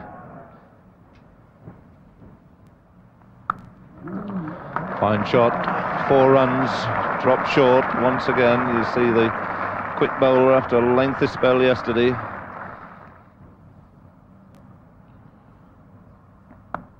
Oh, nicely turned off his legs. Nice quick outfield at the oval here, speeding that ball away. Another beautiful shot. Clipped off his legs this time on the forward shot. Four more. Ready to start a fresh over. And that's it. He's caught behind, going for another off drive. Was Tony Greig perhaps carried away a little bit there? Certainly wasn't quite there to play that drive. A little bit too short. Slight away movement. And Rodney Marsh, although fumbling that, managing to grab hold of it at the second attempt. Dennis Lillee has now equalled the record of the highest number of wickets in an Australian v England series in this country by an Australian. 29 wickets now for Dennis Lillee. So Alan Knott, the hero of the England first innings facing Lillee. Oh, and a chance there. Difficult diving chance to the right. Keith Stackpole getting a hand to it would have been a superlative, a brilliant catch if he'd have stuck hold of it.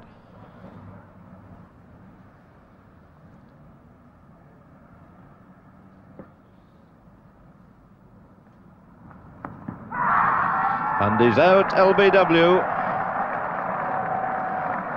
So, not unlike the ball, in fact, which got Barry Wood up. Well pitched up. Just about a Yorker, full toss round about the shoe. Used to be boot, but it's now largely shoe. So a breakthrough again for Dennis Lillee, his second wicket, receiving the congratulations of all his teammates because that makes him once again a record holder out on his own now, his 30th wicket in this series.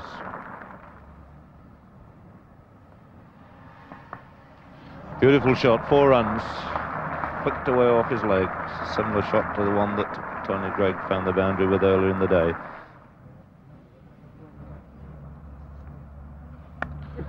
Swung away on the leg side by Alan Knott. Four more runs.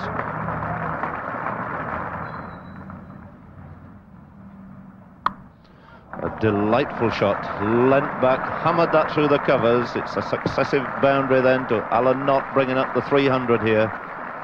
Sparkling display of batting by the England players this morning. It's out, caught it slip. Caught Stackpole, bowled Mallett. Snow just pushing forward to Mallett's top spinner. And the eighth England wicket down.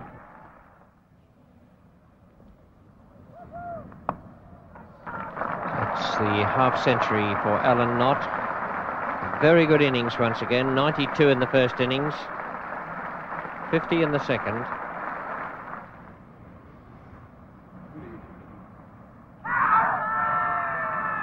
Yes, and he's given him LBW. That's the sweep shot that Geoff Arnold likes to play. Took him a little while, but it was pitched very well up indeed. In fact, a little too far up to sweep. Dennis Lillee looking again for his fifth wicket in this innings. And he's got it.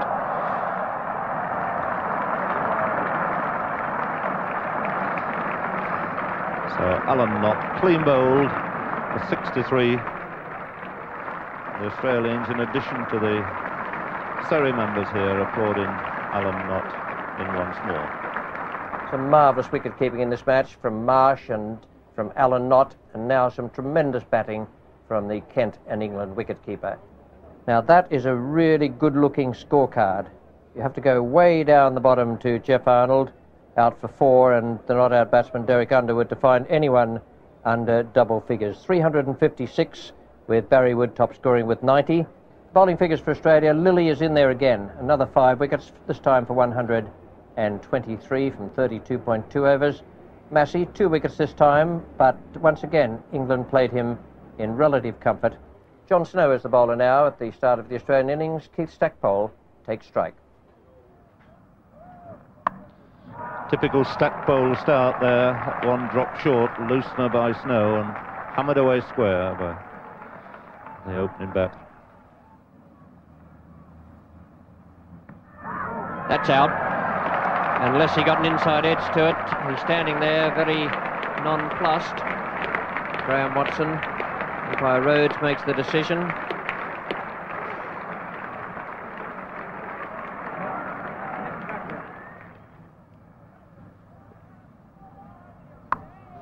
Fine shot, drop short, cut away.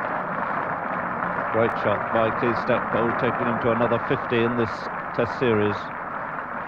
He's really played superbly ever since Old Trafford. He started off with 50 up there. He's finishing with another 50 up here.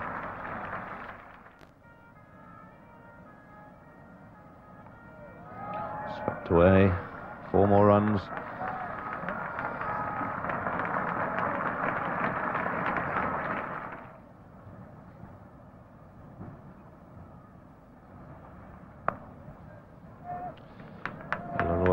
Down after delivering that ball. Seems to be in quite a good deal of pain. Twisted over.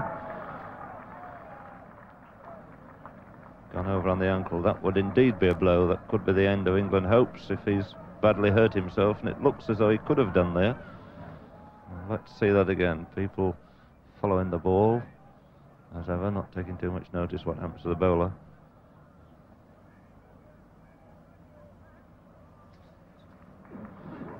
Right, Illingworth following off, the doctor and the physio.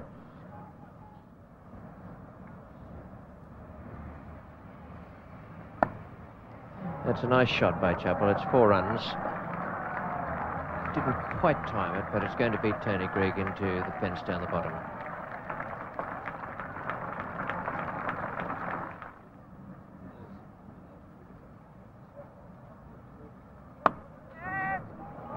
That's nicely timed. He didn't appear to hit that very hard, but it absolutely belted over the outfield. And it's the 100 partnership.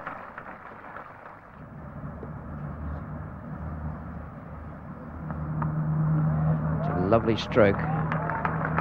John Snow, no chance of cutting that off.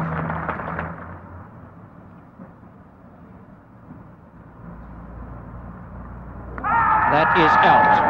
The first wicket down. Tony Greig picks it up for England. Stackpole cutting again, and the ball lifting sharply. And it's now two for 132. Tony Greig bowling, and the ball again cutting back at Stackpole. Just finds the top edge, and Stackpole's on his way.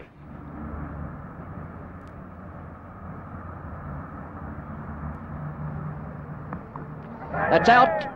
Bob Willis, back of the bat, trying to sweep. And possibly off the edge of the bat into Chappell's face, I think. A slower ball from Underwood. Chappell commits himself to the sweep shot. Edge of the bat to face and up in the air to Bob Willis.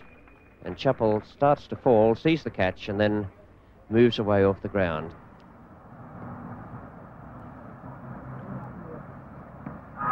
That is out. Ross Edwards, LBW, to Tony Greig, the ball cutting back quite sharply. And Edwards is out, and what a cliffhanger this is now. 105 runs still needed, and only six wickets in hand. Well, this is the ball. Another look at that one. Down she goes around the line of the off stump, cutting back. And Edwards hasn't got very far forward. Front pad just about on the front crease.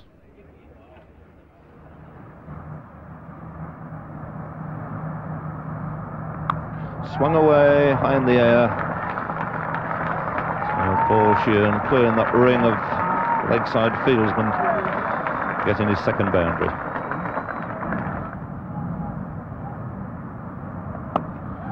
Fine shot, slower ball, Sheahan using his feet, timing it perfectly. Clipped away for four, wide of mid-on.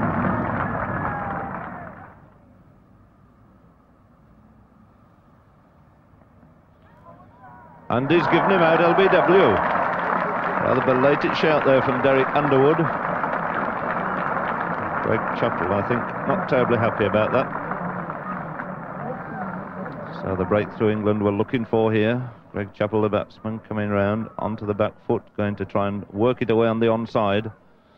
Some little time before Derek Underwood went up with an appeal.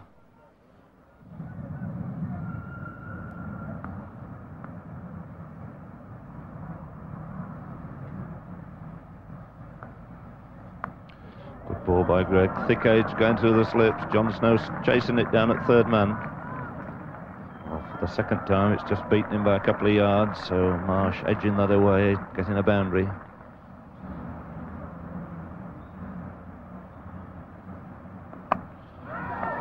Very nearly a chance. Can't ever, I don't think, go down in the books as a chance.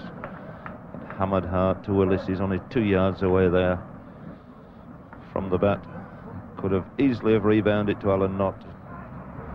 Rodney Marsh facing. Swept away. No chance of deep square leg cutting that one off. Really picked that one up. So Marsh now going into the 30s, 32. Getting a little bit of his own back here off Underwood. Derek Underwood snapping him up in his last three test innings for 1-1 and naught. Now vengeance coming for Rodney Marsh at exactly the right time for Australia. So Australia just a dozen runs away now from victory here at the Oval. Simply a matter of time. Five wickets left. And that swung away by Marsh. Magnificently timed over mid-wicket. Another four. Rodney Marsh really going to town here. Sewing the game up for his country.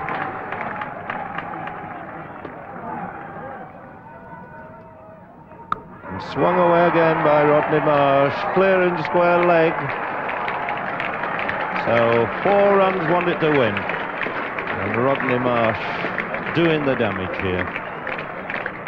He's moved on to 40 So it's just one run wanted. Is Rodney Marsh going to have the honour of making it? That's it, pushed away, no bother at all. Look at Marsh, look at Sheahan, absolutely delighted. And the curtain comes down on this test match scene here at the Oval as all the boys, West Indians, English boys, coming in, tremendous race to get through them. Up the stairs, joyous Australians up on their balcony. And the end to what has been really one of the most magnificent test matches it's ever been my pleasure to watch your playing. I certainly endorse those words. It was a great game of cricket, played in good conditions and in marvellous spirit.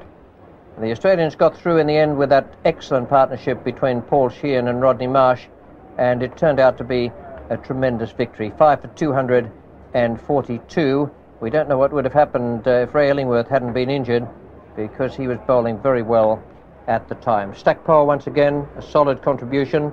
The Chappells, a substantial partnership again, but Sheahan and Marsh saw them through with uh, contrasting styles. Sheahan all elegance and Marsh all pugnacity. Five for 242, a wicket to Geoffrey Arnold, none for John Snow, two to Tony Greig, and Underwood and Illingworth did the bulk of the bowling, whilst Illingworth was out there on the field. Underwood in the end finishing with 35 overs, 11 maidens, and 2 for 94. The whole of the series turned out to be one of the best I ever watched or saw as a player or commentator. That was due in no small part to the two captains. We knew Ray Illingworth was a fine captain, one of the best ever to lead an England team on the field. You had a new boy in Ian Chappell in this 1972 series. He matched Ray Illingworth, and between them they brought positive cricket for the fans and those watching on television not having gone to the ground. It was a terrific series, led by these two splendid skippers, and something I will remember for a long, long time.